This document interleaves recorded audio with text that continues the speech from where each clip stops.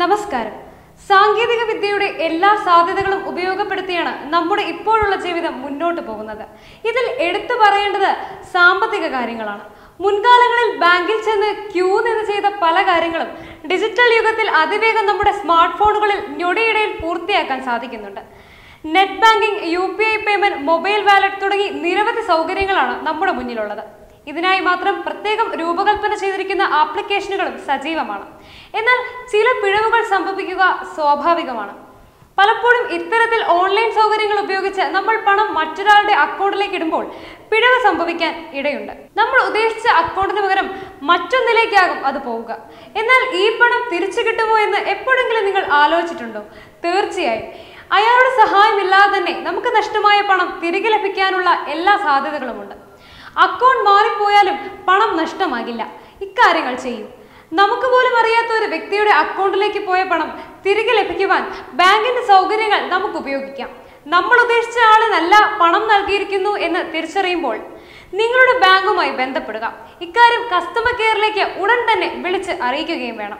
എവിടെ എങ്ങനെ എന്ത് പിഴവാണ് സംഭവിച്ചത് എന്ന് വളരെ കൃത്യമായി ബാങ്ക് അധികൃതരെ അറിയിക്കുകയും വേണം. കസ്റ്റമർ കെയറിലേക്ക് നിങ്ങൾ വിളിക്കുമ്പോൾ തന്നെ നിങ്ങളുടെ ബ്രാഞ്ച് മാനേജറെയും ഇക്കാര്യങ്ങൾ ബോധ്യപ്പെടുത്തിയിരിക്കണം.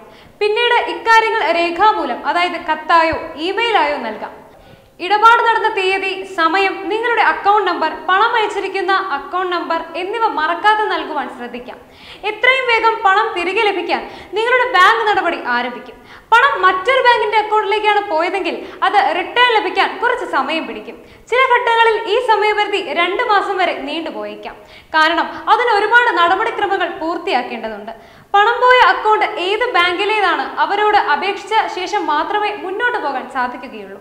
എന്നാൽ നിങ്ങളുടെ അതേ ബാങ്കിലാണ് നിങ്ങൾ തെറ്റായി പണം കൈമാറിയിരിക്കുന്നതെങ്കിൽ കാലതാമസമില്ലാതെ തന്നെ പണം നിങ്ങൾക്ക് തിരികെ ലഭിക്കും.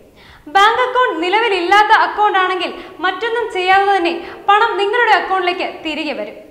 ആർ ബി ഐ നിർദ്ദേശപ്രകാരം നിങ്ങളുടെ അക്കൗണ്ടിൽ നിന്നും മറ്റൊരു അക്കൗണ്ടിലേക്ക് നിങ്ങൾ പണം കൈമാറുമ്പോൾ നിങ്ങൾക്ക് അത് സംബന്ധിച്ച സന്ദേശം ഫോണിൽ ലഭിക്കും.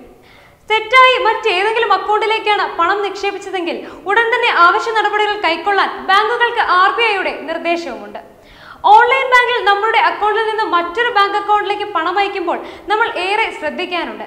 കാരണം നേരിട്ട് ബാങ്കിൽ പോയി പണമടയ്ക്കുമ്പോൾ നമുക്ക് എവിടെയെങ്കിലും തെറ്റായാലോ അല്ലെങ്കിൽ നമ്മൾ പണമടയ്ക്കുന്ന ആളിന്റെ വിവരങ്ങൾ ചോദിക്കുവാനും അവിടെ സൗകര്യമുണ്ട്. എന്നാൽ ഓൺലൈൻ ബാങ്ക് വഴി പണമടയ്ക്കുമ്പോൾ നമുക്കൊരു ചെറിയ തെറ്റ് വന്നാൽ കൂടി അത് ട്രാൻസാക്ഷനെ ബാധിക്കുന്നതാണ്. ഉദാഹരണത്തിന് നമ്മുടെ ബാങ്ക് അക്കൗണ്ട് നമ്പറിന്റെ ഒരു അക്കം മാറിയാൽ തന്നെ അത് മറ്റൊരാളുടെ അക്കൗണ്ടിലേക്ക് പോകും. അതുകൊണ്ട് പരമാവധി ശ്രദ്ധിച്ചു വേണം ഇക്കാര്യങ്ങൾ കൈകാര്യം ചെയ്യാൻ. ഇത്തരത്തിൽ പണം നഷ്ടപ്പെട്ടാൽ തിരികെ ലഭിക്കാൻ ഒരുപാട് സാഹചര്യങ്ങളും അവസരങ്ങളും ഉണ്ടെങ്കിലും അതിനു പിന്നിലെ നൂലാമാലകൾ ഒഴിവാക്കുന്നതിന് പരമാവധി ശ്രദ്ധിച്ച് മാത്രം ഇടപാടുകൾ ചെയ്യുക. Account number mobile number phone number പോലുള്ള വിവരങ്ങൾ നൽകുമ്പോൾ ഡബിൾ ചെക്ക് ചെയ്ത് ഉറപ്പുവരുത്തുക. Web desk Tatwamayi news.